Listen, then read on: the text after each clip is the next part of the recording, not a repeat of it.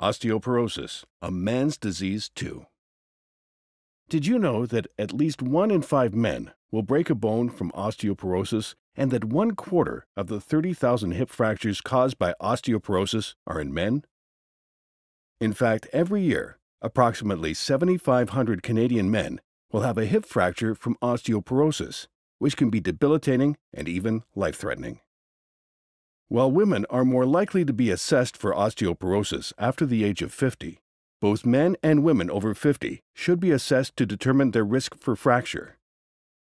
The wrist, spine, shoulder, and hip are common sites of fragility fractures from osteoporosis that can result from a trip, slip, or normal activity like coughing and sneezing. All men age 65 plus should have a bone mineral density BMD test. All men 50 to 64 with any of the following risk factors also need to have a BMD test. Have broken a bone from a simple fall or bump after the age of 40. Have a parent who's had a hip fracture.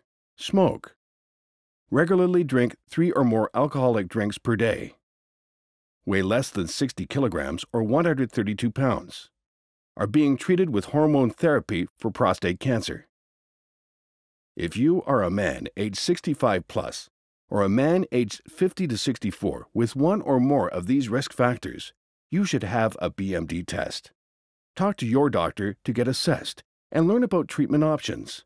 To learn more, visit osteoporosis.ca.